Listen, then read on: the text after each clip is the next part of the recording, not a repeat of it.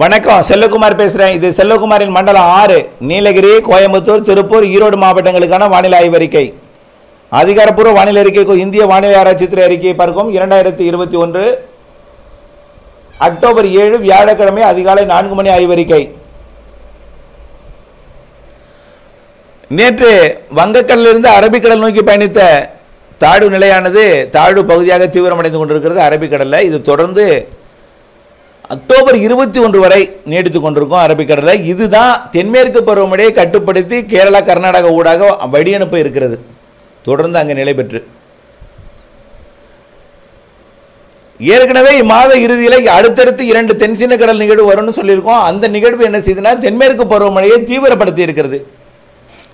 இந்த நிகழ்வு தற்பொழுது தென்சீன கடலையும் இன்னொன்று பசிபின் பெரும் பசிபிக் பெருங்கடலையும் நீடித்துக்கொண்டு தென்மேற்கு பருவக்காற்றை ஈர்க்க இருக்கிறது. அதாவது காற்று வந்து தென் அதாவது நிலநடுக்கோட்டுக்கு தெற்கே உள்ள காற்று கட்டுப்பாட்டு காற்று அரபிக்கடல் காற்று அரபிக்கடல் சுழற்சி கட்டுப்படுத்தி வடக்கு நோக்கி இழுத்து பிறகு கேரளா கர்நாடகா வழியாக நுழைய செய்து தமிழகம் ஊடாக பயணிக்க செய்து மழைப்பொழிவை கொடுத்து விட்டு அர வங்கக்கடல் இறங்கி அந்தமான் நிக்கோபாருக்கு போய் போக போகுது. அதனால் தொடர்ந்து தென்மேற்கு பருவமழை இருக்கும். சில நாள் வலுத்து சில நாள் சாரலா சில நாள் லேசா சில நாள் மிக தூறலா காற்றோட இருந்து கொண்டே இருக்கும். கண்டிப்பாக பதிமூன்றாம் தேதியிலேருந்து காற்றோட வேகம் அதிகரிக்கும். காற்றோட சாரல் கிடைக்கும். காற்றோட சாரல் கிடைக்கும். பதினைந்து பதினாறு பதினேழில் பதினஞ்சு பதினாறு பதினேழு கிடையாது. பதினஞ்சு பதினாறில் கரையை கிடக்கும் ஆந்திர பிரதேசம் அன்று மழைப்பொழிவு தென் மாவட்டங்களில் கொஞ்சம் கூடுதலாக இருக்கும். அதாவது கண்ணி அதாவது தென் மாவட்டங்கிறேன் தெற்கு பகுதியில் கோயம்புத்தூர் மாவட்ட தெற்கு பகுதியில் வால்பாறை பகுதியிலையும் நீலகிரி பகுதியிலையும் கொஞ்சம் வலுத்து இருக்கும்.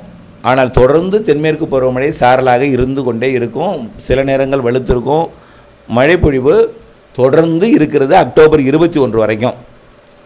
ஆக மழைப்பொழிவு இருக்கும் இடையில் நேரத்தில் சில நாள் வழுக்கும் பொழுது சாரலாக தாராபுரம் வரைக்கும் திருப்பூர் மாவட்டம் வரைக்கும் எட்டும்.